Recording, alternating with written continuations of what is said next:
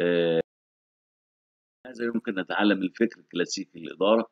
ما هي المعارف المكتسبة من المدخل السلوكي للإدارة؟ إيه هي السياسة أساسيات التفكير الإداري الحديث؟ من الأول إيه هي المداخل الكلاسيكية للإدارة؟ وتشمل الإدارة العلمية، المبادئ آه، مدرسة المبادئ الإدارية، المدخل البيروقراطي للإدارة.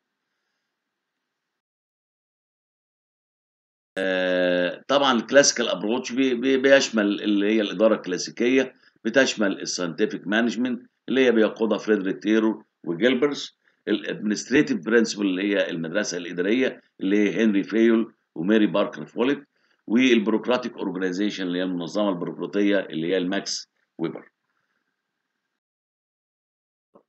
الإدارة العلمية بتاعت فريدريك تايلور اللي هي دراسة الحركة والزمن كل شغلانة بتاخد حركة قد إيه وزمن قد إيه.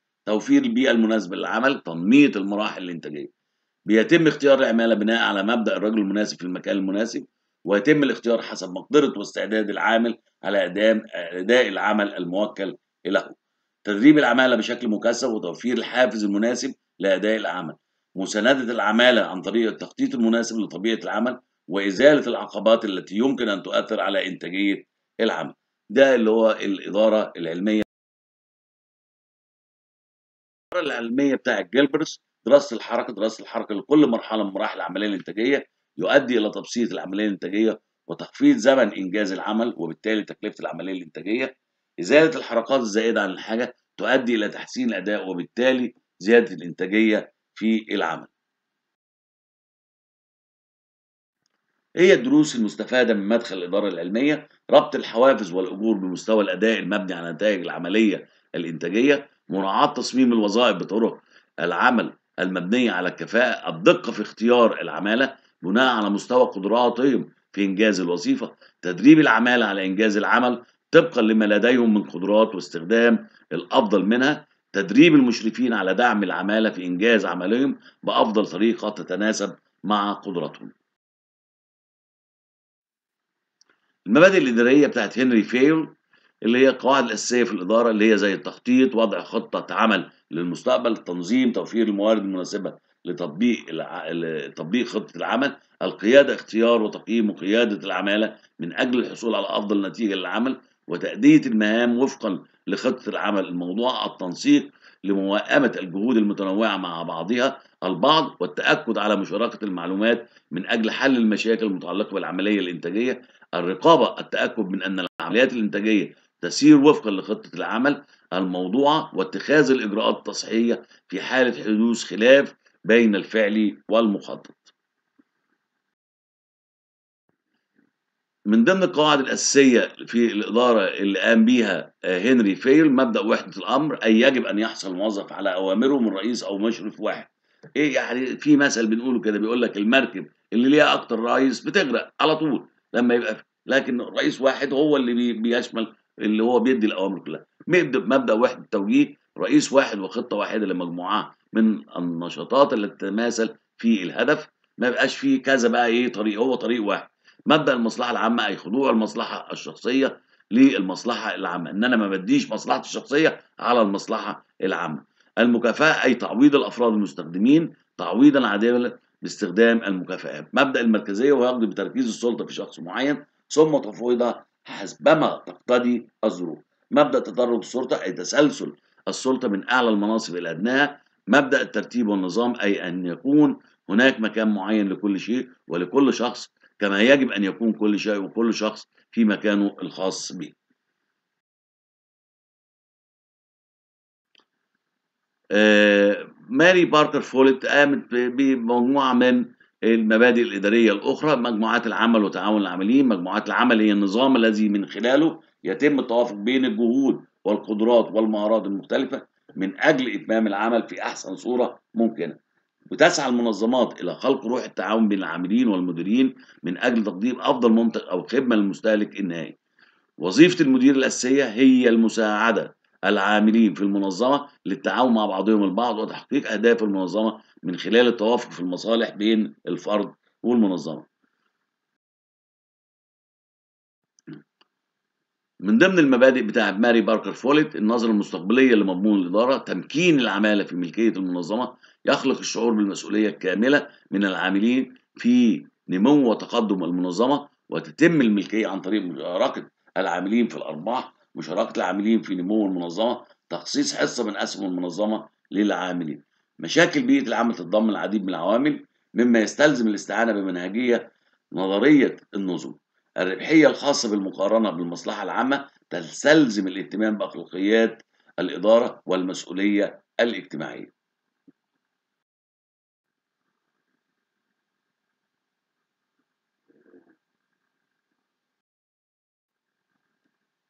عيوب المدرسة البيروقراطية تضخم الأعمال الروتينية البطء في حل مشاكل العمل عدم المرونة في مواجهة الاحتياجات المتغيرة مقاومة التغيير إحباط العاملين وعدم الولاء التنظيمي.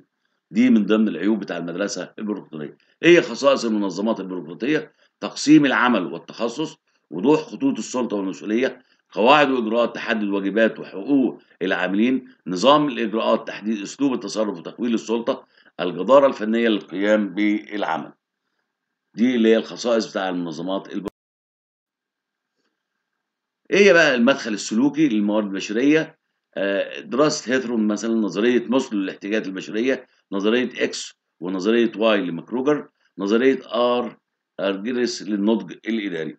هنشوف كل إيه بسرعة. دراسة هوثورن الدراسة المبدئية تشرح كيفية تأثير الحوافز المادية والظروف الاقتصادية وظروف العمل والبيئة المحيطة على إنتاجية العامل. لم توفر دلائل ثابتة لهذه العلاقة ولم يتم اختبارها بشكل إحصائي. العناصر السيكولوجية أثرت على نتائج الدراسة. بالنسبة لدراسة هيدرون اعتمد على معامل دراسية لاختبار النظرية محاكاة بيئة العمل وظروف العمل الفعلية لدراسة مدى تأثيرها على الإنتاجية صممت لتخفيض تأثير العوامل السيكولوجية للتجارب السابقة للمدرسة السلوكية العناصر التي أدت إلى زيادة الإنتاجية بيئة مجموعات العمل الإشراف التفاعلي دراسة هيثرون تأثير سلوك العاملين والعلاقات الإنسانية على العمل الجماعي.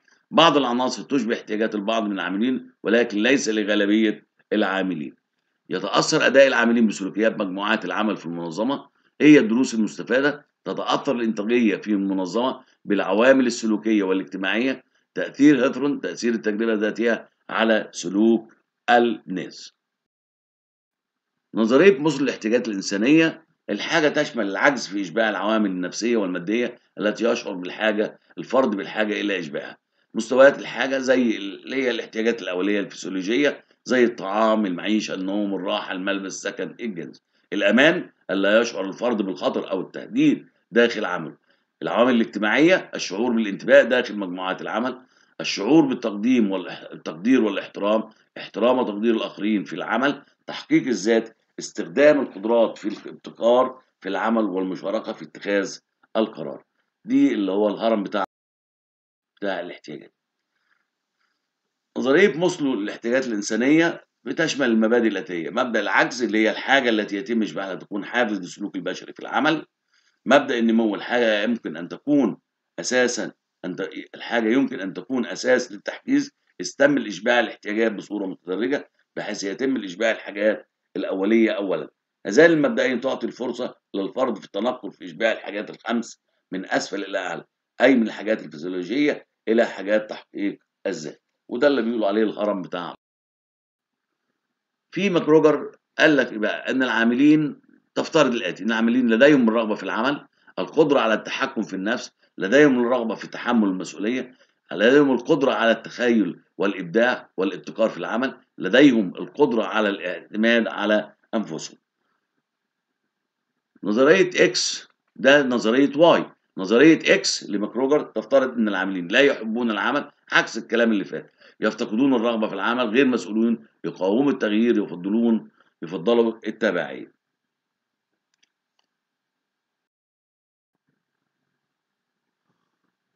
إيه هي الدروس المستفادة من المدخل السلوكي؟ يتأثر العاملين بسلوكهم داخل العمل باحتياجاتهم الاجتماعية في الانتماء إلى الآخرين بيشعر العاملين بأهميتهم من خلال العلاقات الإنسانية في العمل بيتأثر العاملين بالعلاقات الإنسانية والاجتماعية أكثر من تأثرهم بأنظمة العمل والرقابة المفروضة من المنظمة يختلف العاملين في حاجاتهم وإن قيام المنظمة بالمساعدة في إشباع هذه الاحتياجات يساعد على إبراز طاقتهم.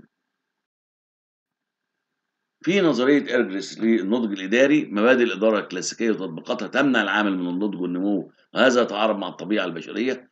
تطبيقات الإدارة يجب أن تتيح الفرصة للنمو والنضج الإداري للعاملين عن طريق زيادة المشاركة في مسؤوليات العمل اللي هي بنقول عليها total employee participative زيادة التنوع في المهام الموكلة للعاملين استخدام أسلوب المشاركة في اتخاذ القرارات وحل المشكلات. يبقى أنت جزء كده هو من اتخاذ إيه هي أساسيات الفكر الإداري المعاصر؟ ليه أساسيات التطوير المستمر في الإدارة؟ انتهاج نظرية النظم في المنظمات، اتباع التفكير الموقفي، الالتزام بالجودة وتحسين الأداء، التعلم التنظيمي. مدخل النظم النظام كيان من العناصر المعتمدة على بعضها البعض وتفعلها وتفعلها وتفاعلها يؤثر على بعضها البعض كما تؤثر على النواتج والإنجازات المطلوبة تحقيقها. النظم الفرعية جزئية صغيرة من النظام الكلي، النظام المفتوح تتفاعل المنظمة مع البيئة المحيطة في عملية تحويل مستمر للمدخلات إلى مخرجات من السلع والخدمات. في اللي هي النظرية الموقفية تحاول التوفيق بين الاستجابة الإدارية للمشاكل والفرص الفريدة للمواقف خاصة الاكتفاءات الفردية والبيئية لا يوجد طريقة مثلى لكيفية الإدارة الطريقة المناسبة للإدارة تعتمد على يعني في ناس بيبانوا بقى ساعة الموقف ساعة الموقف بيظهر القائد ان هو ساعة الموقف. زي ما حصل لنا كده في آه في 2014 ظهر شخص كده آه حط كفنه على ايديه علشان يتولى امور هذه البلاد وربنا يبارك فيه يا رب. الجودة والأداء المتميز يهيمن على العاملين والمديرين في منظمات الأعمال الحديثة الاهتمام بالجودة في جميع المراحل الإدارية. الجودة والمزايا التنافسية وجهان لعملة واحدة.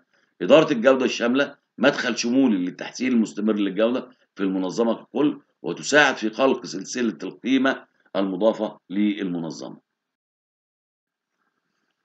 الجودة والتميز في الأداء التنظيمي زي شهادة الأيزو مستوى أداء مقارن عالمي مراجعة وتعديل معايير الجودة والمقاولة بمعايير الأيزو التحسين المستمر البحث المستمر للطرق الجديدة لتحسين الجودة دائما ما يوجد في المنظمة العديد من العناصر التي يمكن تحسين جودتها حلقات الجودة هي مجموعة صغيرة من العاملين يجتمعون بصورة دورية لمناقشة طرق تحسين الجودة. كل حلقة تعتبر مسؤولة مسؤولية كاملة عن تحسين الجودة. بينتج عن استخدام حلقات الجودة تخفيض التكاليف وتحسين الجودة وإشباع احتياجات المستهلكين ورفع الروح المعنوية للعاملين. منظمات التعلم تلك المنظمات التي لديها القدرة على تقديم التعلم المستمر للعاملين بها واستخدام الطرق الحديثة والمرونة في التكيف مع الموقف المتجدد. المحتويات الأساسية لمنظمات التعلم النماذج الذهنية، التفوق الإنساني للعاملين، التفكير بمنطق النظم، الرؤية المشتركة، التعلم من خلال مجموعات العمل.